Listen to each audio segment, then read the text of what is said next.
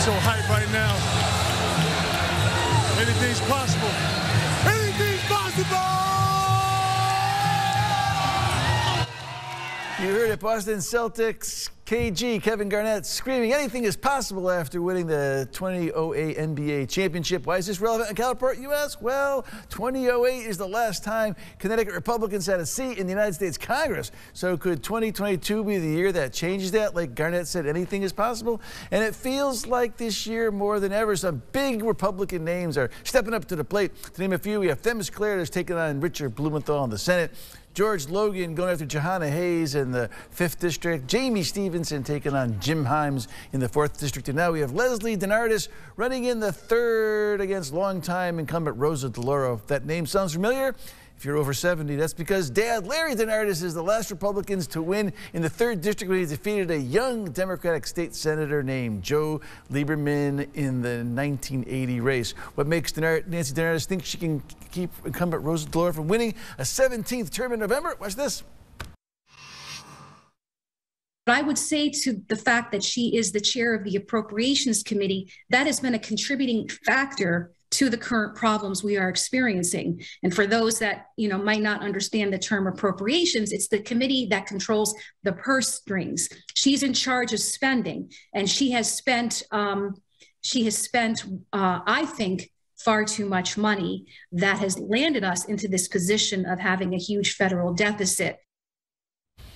Well, McKinney, what do you think? We got some big names, at least, at least trying this time around, huh? Oh yeah, and and uh, Lesley's dad uh, served with my dad in Congress a, a generation or two ago. Um, look, uh, uh, we've been talking about this a lot. Um, can Republicans win some of these seats? I think there's a chance. George Logan's got a great chance. Jayme Stevenson's a good candidate. But the bigger issue is we're getting better quality candidates. People are willing to step up and run, um, and that's a sea change for the Republicans. Uh, we haven't really run a great candidate against Rosa because she's Rosa, right? But you have to run good candidates, even if you're going to lose, because it helps with the under ticket, it helps grow your party, it creates enthusiasm. So this is good news. And in the second congressional district, we talked about this off camera. The Democratic, uh, the DCCC put the second district on their frontline program, which was a shock to all of us. Yeah, and I really don't see the math there. Maybe you look at the last presidential district and you see the Republican performance out there, and you're like, hey, wait a minute, maybe there's something to be seen there. But you see Joe Courtney. Joe Courtney is not only an absolutely great guy, uh, reputation in the Connecticut legislature, reputation down in D.C., cuts cross-party lines out there. I think he's going to be totally fine. As far as uh, Lesley DeNardis, I have to admit, I had to Google search DeNardis. I had never heard of her dad.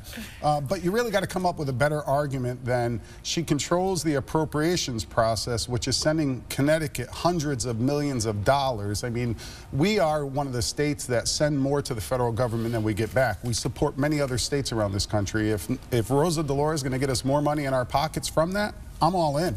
Uh, Joe Courtney is an excellent guy. He's a really good guy. Uh, Mike France is a really good candidate against I do Joe like Courtney. Mike too. Um, but but the other thing here for for the Republican Party, which has been in the minority in Connecticut for decades, this is about building the party. This is about getting our message out to seeing if we can attract more voters and start winning some of these seats. So, for example, uh, Joe Courtney and Rosa DeLauro aren't going to be Congress people forever. I know it seems like they will, but one day they're going to retire. And when Joe Courtney either if he he might lose to Mike France, but if he wins, he's going to retire. That's an open seat that Republicans can and will will win, but you need to start building that base now. And, and I'll give you that, that a strong two-party system is actually what we need. We never want one party or the other to have a lock on every election. So I'll give you that. But I just don't wow, know that they can win. good. So all right, guys. Hey, so you know what's right around the corner? Beach season. Yep, next on Capitol Report, why politics is at play when it comes to a day at the beach in Connecticut. When we get back, don't go away.